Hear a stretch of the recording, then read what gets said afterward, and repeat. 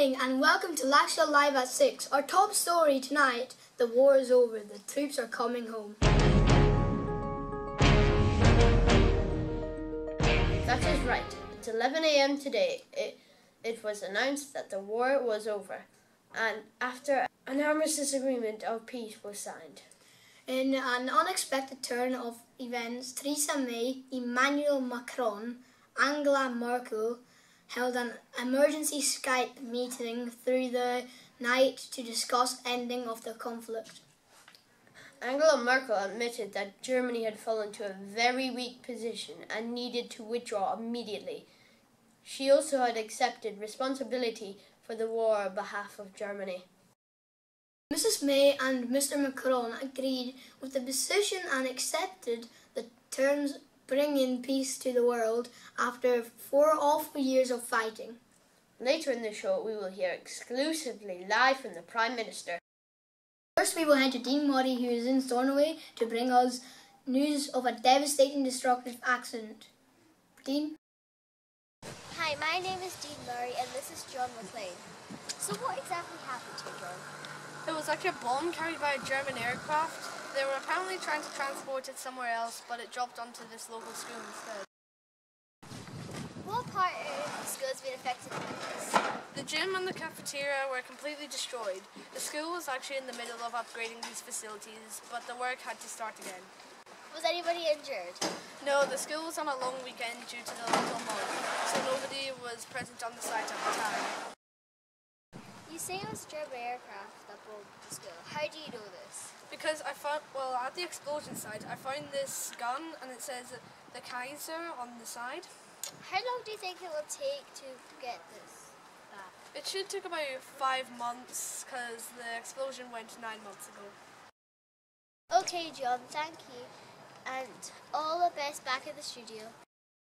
Thank you, Dean. That it was incredible that nobody was injured or killed. Earlier today, our reporter Stephen McLeod sent us this report from Flanders Fields. With me here is Jack Quill, a British troop from Stornoway. Let me ask you, Jack, how was the war? It was horrible, full of gore. I almost died. Every night I wondered I would see the sun rise in the morning. How did you almost die?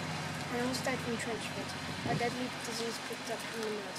I lost six of my mates from Stornoway as a result of this disease. What was the scariest moment of the war for you? Probably every time I had to go over the front line and all the men around me died one by one. Me and the mountain there were the only survivors from the regiment. I'm sorry to hear that. What is next for you? How do you expect to go home now that the war is over? I think we are going to leave an attack helicopter from the base. Our search of this will be in, in the next few days. Thank you, Jack, for spending time with me. Looking forward to having your boys home after so much fighting and loss. Well done, Jack Quill. It is time to go live with Riley Morrison, who is speaking with Theresa May. Saturday, Prime Minister, can you talk us through the part you played? Yes, what a day. I got a Skype call from Angela Merkel in the early hours of the morning stating Germany's desire to withdraw from the war. With that, she accepted responsibility from the war and so wished to bring it to an end by withdrawing her troops. So, what happened with the armistice? Well, the two of us, along with Emmanuel Macron, were ushered immediately to the top floor of the Eiffel Tower, where we met and discussed how to end the war. We agreed on the armistice, which stated at 11 a.m. that I, the fighting would stop. The three of us signed it then and there. That sounds like it happened quickly. How did you get the word to the troops?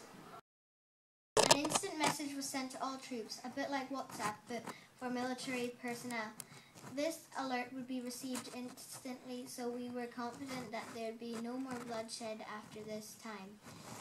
How quickly do you expect to get our troops home? We are working on this right away. The first helicopters will leave tonight for Belgium, where the majority of our soldiers are currently. Our, over the next few days, most will get home, with some in harder to reach places coming home assure you we are working as hard as we can to get them home quickly but safely. Thank you for your time, Prime Minister. This is a great day for our country. Back to you in the studio. That was the thoughts of Theresa May after signing the historic agreement. Thank you for helping bring peace to, to our nation. That's all for tonight. Keep an eye on our social media channels for more news and reactions throughout the, the evening as it breaks. Thanks for watching. Thank you, troops, for protecting our country. We are looking forward to having you home.